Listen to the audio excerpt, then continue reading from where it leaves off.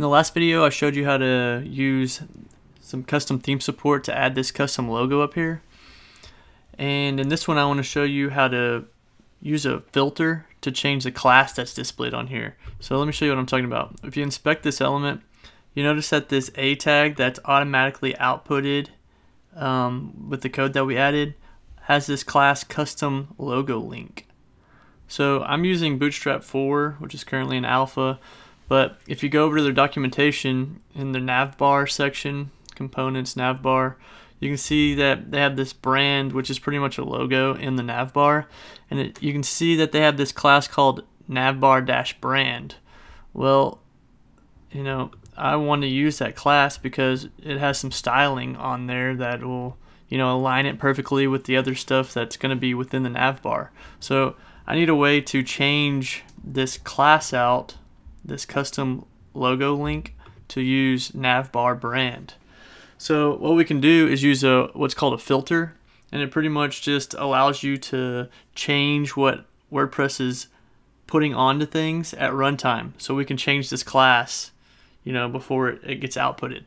So I'm to show you how to do that. We need to go in here into our theme files, of course, and you can add this in the functions file but I like to break things out. So I have this uh, INC file up here and I have um, just like this extra. So just wherever you want to put it doesn't really matter. So but what we need to do is uh, create a function and then use uh, a filter. So let's go ahead and create a function. Wow right off the bat. Function custom logo output you can name this whatever you want. It's always good to uh, prefix it with whatever your theme name is or or any prefix that you use. Notice these have prefixes help, help WP, help WP. So what we're going to do now is grab the HTML out of there, out of this output, and open up this function and then we're going to grab that HTML and then we're going to do a string replace. And you can see here if you have autocomplete on what you're searching for and what you want to replace it with. So what we want to searching for is we're searching for the custom dash logo dash link which is you know this is what we're searching for custom logo dash link and we want to replace it with navbar dash brand from bootstrap. So right here navbar dash brand. Perfect. So then the subject is going to be this actual HTML right here. HTML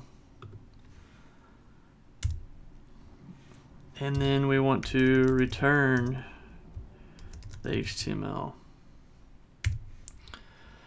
once we got that, now we just need to add our filter. Add underscore filter.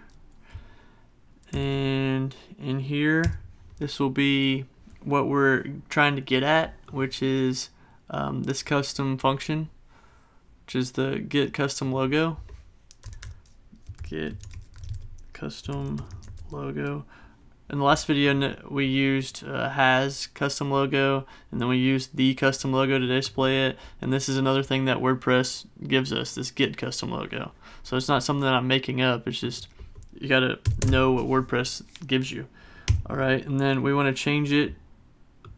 We want to use our function for it. And let's give it a 10 so someone can come in behind us and you know make this number smaller, and then their string replace would replace ours. All right, so that looks pretty good. I'm just gonna put some spaces here to clean it up. Let's save that and refresh the page here. And then you'll see here that this navbar brand has now been replaced. So now I have the styling for that uh, Bootstrap gives me on this logo.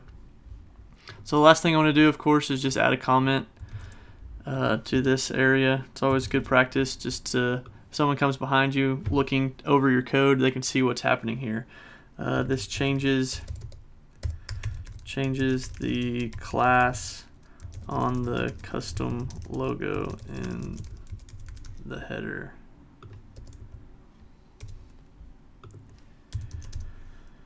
Perfect. All right, so that video shows you how to change the class that the custom logo output gives us on the front end. Talk to you later.